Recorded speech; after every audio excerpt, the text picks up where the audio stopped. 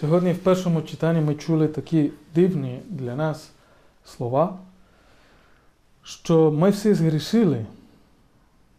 Як через одну людину гріху війшов у світ і через гріхи смерть, так на всіх людей перейшла смерть. Тому що всі згрішили. Ми всі хочемо насправді сказати собі, що я не винуват. І постійно, коли роблять зауваження, хочемо кожен із нас звільнитися від вини. Ні, я не винуват. Може, до певної міри я винуватий, але також не винуватий. Це, це спокуса, її переживаємо всі ми. Хочемо звільнитися від відповідальності за наші поступки. Тому, коли ми сьогодні чуємо, всі грішили, з одного боку розуміємо, да, всі грішні. Але потім, коли конкретно це стосується конкретних справ, конкретної справи, то постійно втікаємо. Ні, я не винуватий. Ні. Ну, може, трохи, але не, не, не. Я не зробив цю ситуацію, ну, настільки вона є жахлива, або настільки вона є е, катастрофічна для інших. Ні, ні, я тут не винуватий, я не при. А каже сьогодні Слово Боже, ми всі згрішили і в усьому. Бо це є те, що називається первородний гріх. Церкві давно ми зрозуміли через це читання саме і через інші тексти в Біблії, що в Адамі і в Еві ми всі згрішили. Що ми вже народилися з тим, що церква назвала первородним гріхом. Що це є? Це є е, якась певна кара за цей гріх, котрий вчинили наші перші батьки, і це є також духовний, моральний стан людини. Що ми всі, коли приходимо на цей світ, ми вже маємо схилість до гріха. І все це все ми відчуваємо, що хочеш, не хочеш, ну, але тяне, да? гріх тяне, має якусь силу. Святий Августин говорив, що це є містеріум ініквітатіс, тайна гріха. Чому так тяне нас гріх? А ми всі вже в Адамі, коли Адам і Єва згрішили, вони настільки вони вже спортили природу людську, що ми всі вже, коли приходимо на цей світ, маємо вже цілу схилість до гріха, що тяне нас. І в Адамі, каже святий Павло, Бог через святого Павла, ми всі згрішили. Уже в ньому ми всі згрішили. Людина згрішила в Адамі.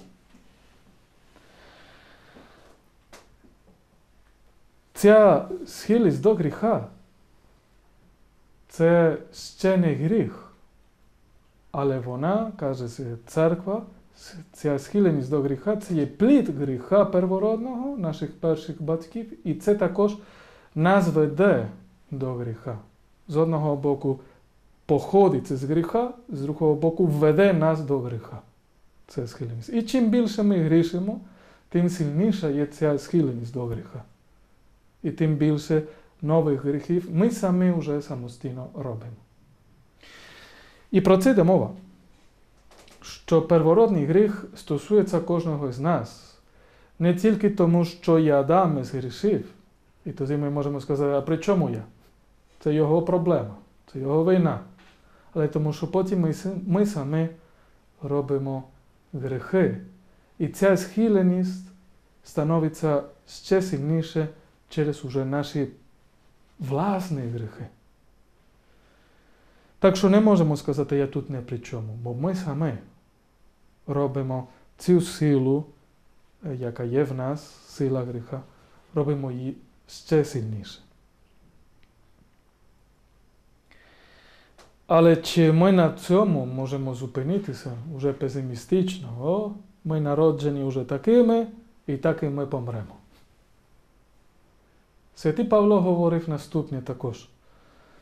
І я думаю, що також і ми всі маємо досвід про ці слова. Він говорив таке: Я себе не розумію. Добро, котре, котре хочу вчинити, не роблю. А зло, котре не хочу чинити, то й роблю. Я себе не розумію.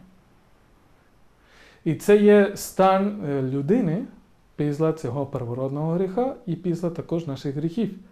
Що я себе не розумію, вже є розділ в мені. Що з одного боку хочу одне, але роблю інше.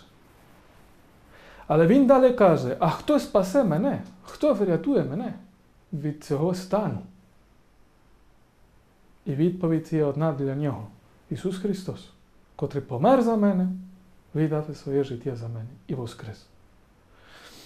І це є також те, що іншими словами сьогодні також і каже Ісус Христос, е, каже, перепрошую, святий Павло, що так як смерть і гріх увійшли в цей світ через е, непослух, через гріх одної людини, так само, бо якщо через гріхопадіння одного багато померло, то настільки, наскільки більше благодаттю однієї людини Ісуса Христа.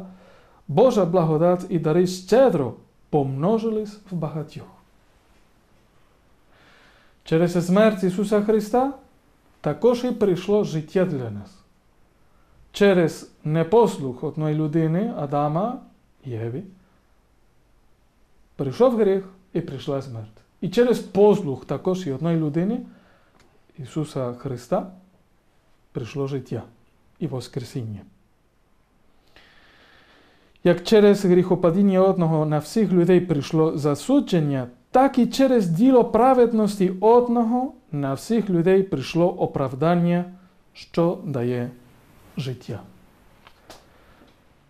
Коли людина приймає Ісуса Христа до свого життя, тоді також і приймає це життя, цю здібність жити по-іншому.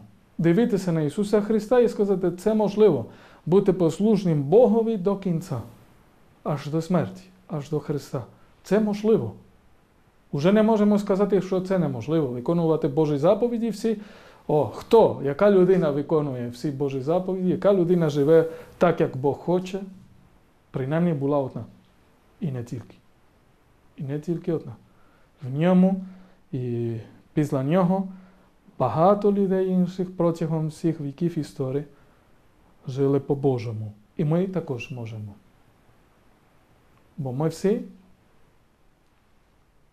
в Ісусі Христі можемо отримати цю благодать. Тоді ця людина, котра приймає Ісуса Христа, може цю здібність уже жити по-іншому. Цей гріх, про котрий ми говорили на початку, первородний гріх, це вже не має остаточного слова, кінцевого слова. Це слово вже є тільки у Ісуса Христа. Він має останнє слово. Ми тільки можемо просити про цю віру, дар віри. І тоді, таким чином, людина, котра знає цю любов Ісуса Христа, також може сказати, да, я в чомусь винуват. Да, я в тому винуват. Я признаю, що може я не все роблю так, як треба. Це не означає, що я в усьому винуватий, але принаймні тут є моя частина вини також. Бо знаєте, була також одна людина, і ми знаємо її, котра сказала наступні слова: Я винуватий в усьому. Я в усьому, що є в мірі, я винуватий. Війна моя. Це був Ісус Христос, котрий взяв на себе гріхи світу. Я в усьому винуват. Хай буде. Хай буде. Хай буду я винуват. Хай я помру за вас. З оглядом на Ісуса Христа ми сьогодні також заохочені признати свою вину перед Богом, взяти свій хрест і отримати від Нього нове життя, здібність стояти в правді дивитися на себе в зеркало, сказати да, я не все прекрасно роблю. Але це не означає, що це є тупик уже для мене. Це не має останнє слово наді мною, а є можливість життя і Воскресіння, котрими обдарував мене Ісус Христос, котрий за мене помер і за мене також і воскрес.